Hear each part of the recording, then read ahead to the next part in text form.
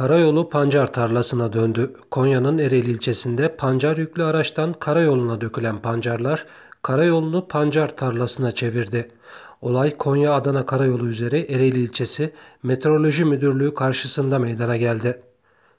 Karayoluna bir araçtan dökülen pancarlar nedeniyle karayolu adeta pancar tarlasına döndü.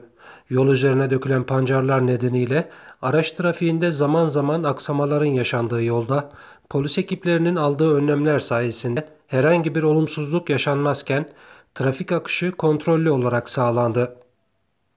Trafik ve karayolları ekiplerinin yoğun çalışmasıyla karayolu üzerinde aldıkları güvenlik tedbirlerinin ardından karayolları ekiplerinin yaptığı çalışmayla yol araç trafiğine açıldı.